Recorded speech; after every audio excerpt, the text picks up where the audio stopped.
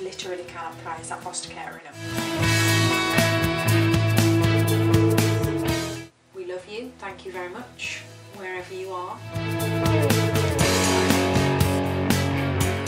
Hi guys, welcome back to my channel. If you're new here, my name is Aimee and I'm a UK adoptive mom of two young children, just trying to share as much of our journey in the process as possible and try to connect with you guys over here down below in the comments and over on my Instagram page. If you aren't subscribed already, hit that button down below or hit my face in the corner and the notification bell next to the subscribe button will make sure that you get notified every time I upload a new video on Mondays and Fridays.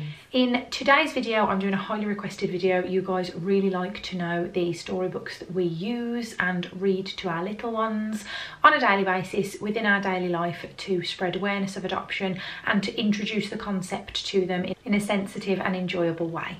So we worked on a lot of recommendations from our social workers and our adoption agency based on the um, obviously years of experience and expertise that they have. We ordered a lot of those books from Amazon and then we have kind of branched out slowly to go off other people's recommendations. I'm not going to go through every single book that we've got today because that would be a very long video, but I'm going to show you some of our favourites that we use on a daily basis now and then some, there's a few that we don't use yet because it's not quite age appropriate for our kids, but I do think that they're going to be really useful. Um, our children are both under the age of three. So that's the kind of developmental level that we are aiming for at the moment with the storybooks that we use. So the first three books i'm going to talk about are in kind of a set. You can order them together. You can order them separately as well. They're not by the same author and they are definitely for the kind of older age group potentially preschooler but definitely sort of reception four five six seven that kind of age group. And what i really like about them is that they've got a kind of workbook feel to them that the kids can kind of work through them as well. I will insert some clips here of the kind of inside of the storybooks they are really handy for older children and especially children who've got a lot of trauma to work through. Uh, Elfa and the Box of Memories talks about an elephant who carries around a huge box, a huge weight on their shoulders and doesn't really want to talk about it, doesn't want to share it with anybody and it becomes a little bit too much for them. Um, and so it just talks about working through your feelings and um, it's got a nice kind of message behind it. What I also really like about these books is that in the back of the book, they all have a little workbook for the kids to use so it can be it can belong to them and then it's something that they can then relate to they can then think about how the story relates to them and their life and how they might want to work through those things um, with yourself or on their own Morris and the Bundle of Worries is very similar to um, Elfa and the Box of Memories. It talks about bundling things up, not sharing them with your friends, keeping them buried, and how that just kind of grows and becomes a little bit too much. And again, in the back, it's got another workbook that the kids can work through. They can make it their own and they can work through it with you guys or they can work through it on their own, depending on their age and you know, their comfort level.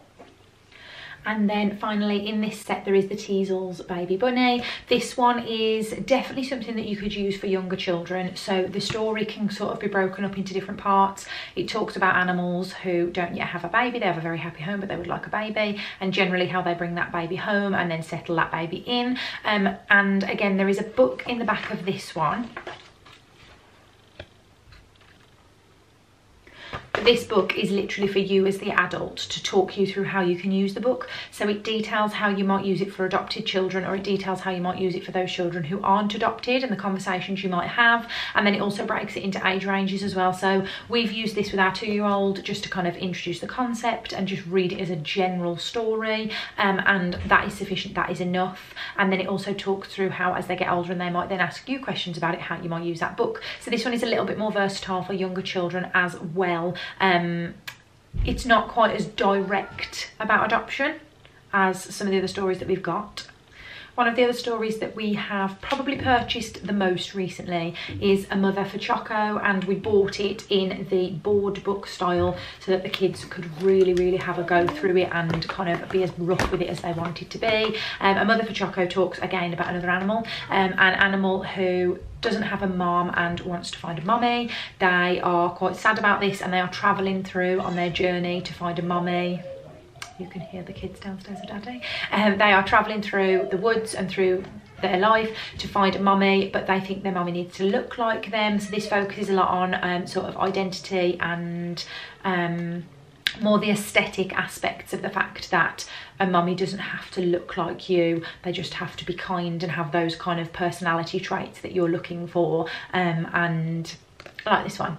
Very easy to read to a one and a two year old the next book that we absolutely love and have read hundreds of times is by Jamie Lee Curtis and it is Tell Me Again About the Night That I Was Born. Really like this story. It's very American based and very sort of US adoption style in that the parents uh, decided they were going to have a baby. They got the call when the birth mother goes into labour and they go into the hospital. Uh, they get on a plane, they go to the hospital bring baby home, all that kind of stuff. Um, but I do really think it's really nice, again, to talk about adoption. And I think what's really important for me is that um, our little ones understand that adoption happens in many different ways and it doesn't always look like their story, perhaps again so that they can kind of get to grips with the fact that adoption happens to a lot of people and it isn't just happened to them um, love the illustrations in this book. Again, I'll insert some clips of what the book looks on the inside. I think it's just really nice. It's a really big size, so it's not exactly travel friendly. Really like this book. It's a long book, but the, again, it's still quite easy to read to a two-year-old. And then last but not least, our absolute favourite dog-eared book is called Yes, I Am Adopted.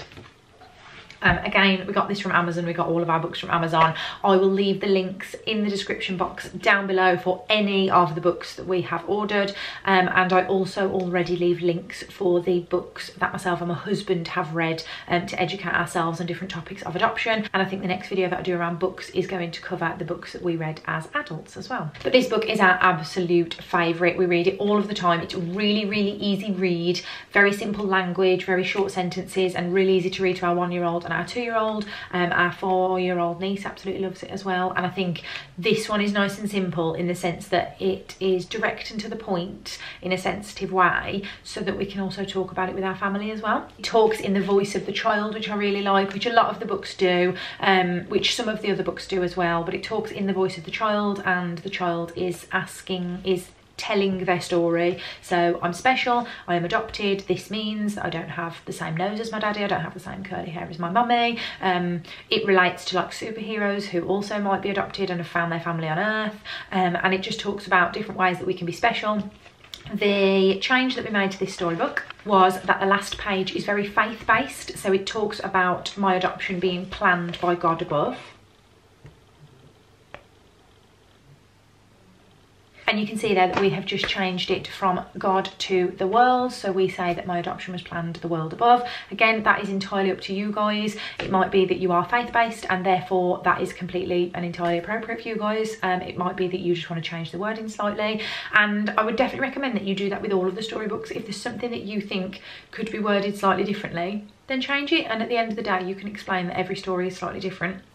Therefore, it's got to suit you guys. So I hope that was helpful. Um, I have done a post over on my Instagram page about the stories that we use. I think I did it for World Book Day and a lot of people were very kind and commented different books that they have used with their children as well. So head over to my Instagram page, check out that post if you want any more recommendations. And if you've got any recommendations, drop them in the comments down below um, because I'm always on the lookout for some new books. I've currently got four in my Amazon basket saved for later just to check that those are the ones I really want just to check some of the reviews. Um, so we will, we will be expanding our library as well soon. But that's it for now, guys. I will speak to you again on Monday or Friday. Bye.